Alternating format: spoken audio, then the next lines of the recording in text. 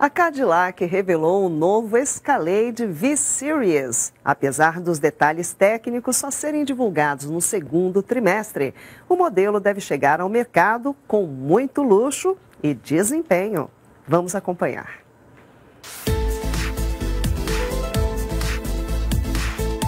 A Cadillac revelou as primeiras imagens do novo SUV esportivo da marca, o Escalade V-Series. O modelo será o primeiro a ostentar a linha V e deve chegar ao mercado com um potente V8 6.2 super comprimido. Apesar do anúncio, os detalhes técnicos completos só vão ser divulgados no segundo trimestre.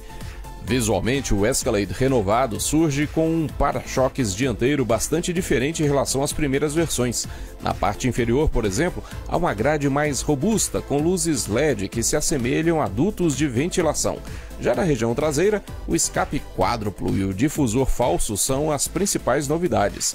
Ainda sobre o aspecto visual, há uma inscrição em V na parte traseira e nas portas dianteiras, enquanto na única imagem interna também é possível ver a letra na base do volante.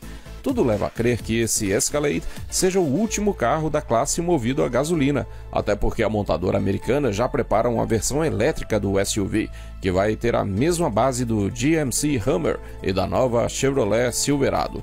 A linha V-Series da Cadillac foi criada em 2003 como uma divisão específica para carros de alta performance. A letra V foi escolhida para designar a classe como uma homenagem aos Cadillacs pós-Segunda Guerra Mundial. O preço não foi informado, mas com certeza vai passar dos 100 mil dólares, que é o valor aproximado do Escalade mais caro nos Estados Unidos.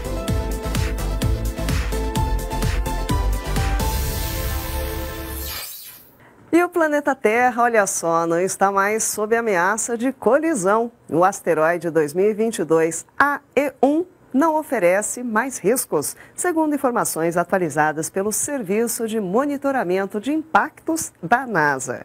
Vejam agora detalhes.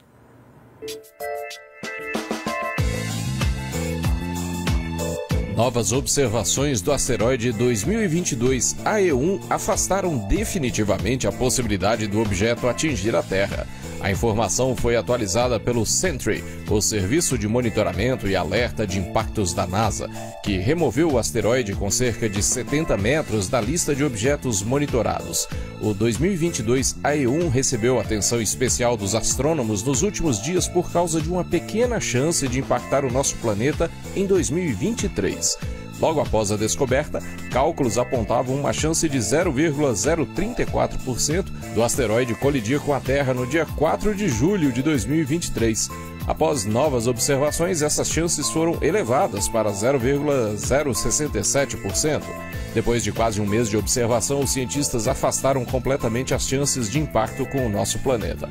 Acompanhar a evolução desses cálculos, desde o alerta inicial até a colisão ser totalmente descartada, pode até ter deixado muita gente apreensiva, mas esse desfecho já era de certa forma esperado, tanto para os astrônomos quanto para aqueles que acompanharam o caso aqui no Olhar Digital.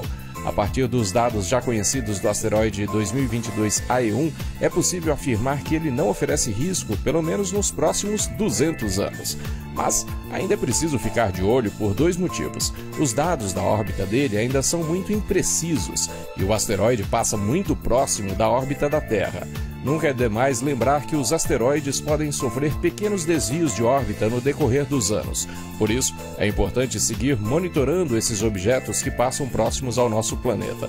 De toda forma, não deixa de ser um alívio saber que, pelo menos por enquanto, não há mais chances do 2022 AE1 atingir a Terra no ano que vem.